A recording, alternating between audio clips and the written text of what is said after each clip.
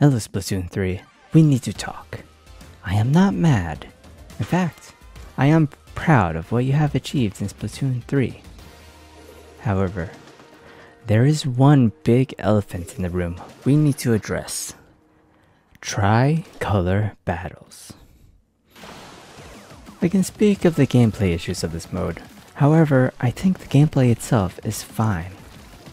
Both sides have their own pros and cons, and it is something that will most likely get changed as we get more maps and systems by the time we get our next Splatfest. Rather, I wish to talk about technical issues. Now, if you did not play the Splatfest World Premiere or unaware, tricolor battles are available after the half time of a Splatfest. When a tricolor battle occurs, the team that is currently in the lead will be the defenders, and will be a team of four in between the other two attacking teams, who have only two players apiece. While it's fun in theory, this game mode came with many, many faults. First, the currently winning team cannot choose standard open battles anymore. They must choose tricolor battles and hope for a standard open battle. While this may not seem too bad, tricolor battles are unable to be 10 times or 100 time battles. And with more people needed from the defending team for tricolor battles, the chance of them getting a standard open battle is very, very slim.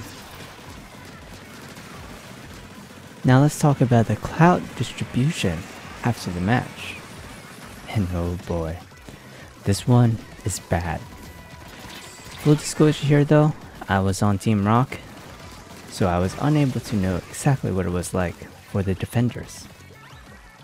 The only information I have for the defender's clout gain is only from secondhand information, so if I get anything wrong here, please correct me in the comments below.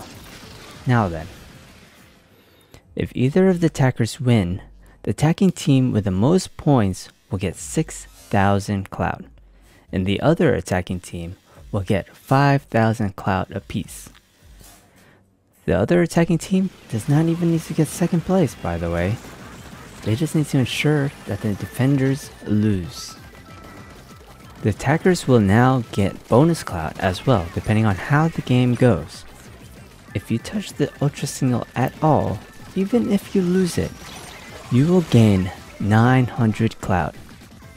And if either you or the, your teammate obtains the Ultra Signal, you will gain 2500 clout. And the best part is, these bonuses do not go away if you lose the match either. You can earn 3000 400 clout for a loss. You get that? You can earn 3,400 clout just by losing. Now if you add up all the bonuses, the maximum amount of clout a single attacking player can earn in tricolor battle is 9,400 clout. And since there are two players per team, a single attacking team can earn 18,800 clout. oh boy. Now let us calculate the defending team's clout if they win. Each defending player can earn 2,500 clout for winning a defense battle.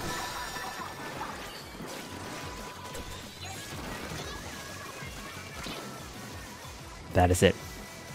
No bonuses at all. That is it. And since there are four defending players, a single defending team can earn 10,000 clout for winning.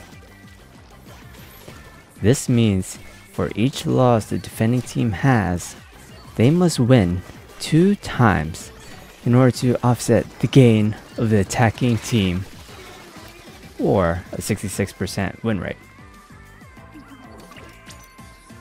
This is insane. This platoon really needs to figure out these technical issues before the next Splatfest. Thankfully, the next Splatfest is a long ways away from now, with no inherent date, so the Squid Labs team have plenty of time to work out all these little kinks. Thank you for listening to my little mathematical rant, and I hope to see you guys next time. Bye bye.